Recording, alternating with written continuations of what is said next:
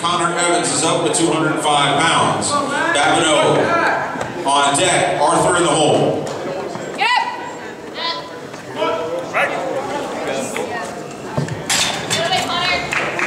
And this is good for Connor Evans.